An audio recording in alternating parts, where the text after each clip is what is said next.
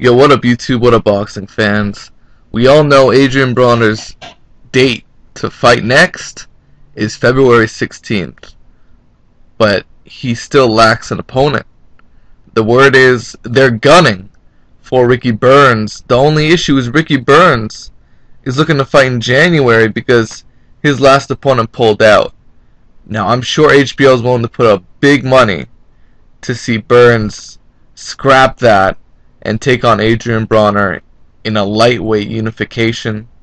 I know we would all love to see that fight, but this is what Adrien Broner had to say about uh, Ricky Burns and and his motivation to fight Adrien Broner.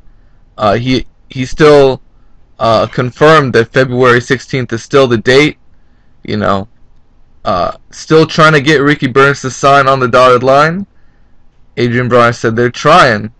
He don't want to fight me. You know what? You know what it is. He's trying to milk the game. He knows after he fights me, he's not gonna be shit. Even though he's a world champion, a world class fighter, I know all of that. But at the end of the day, man, I'm taking this boxing shit over.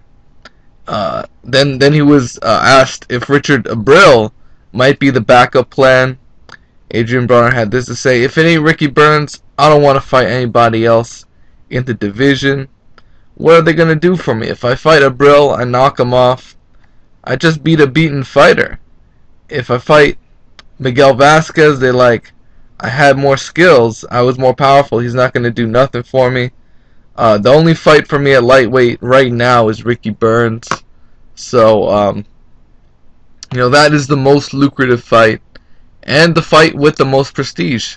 Overall, um, he was also asked by 2013, around the end, does Adrien Broner see himself moving up to 140? This is what he had to say. I'm going to stay here at 135 just beat up on everybody, man. Let them talk some more shit. Keep giving me bills. It really don't matter. I'll fight them all. I don't give a fuck. I'm already the champion in this weight class, so I'll just start fighting people at catch weights. Rios at 138, we can meet. I'll, I'll, fight him at 140. I don't care, man. I'm so impatient. so impatient. But honestly, there's no need for me to do that. Anybody I fight, they're gonna watch me because it's me. They're gonna pay me because it's me.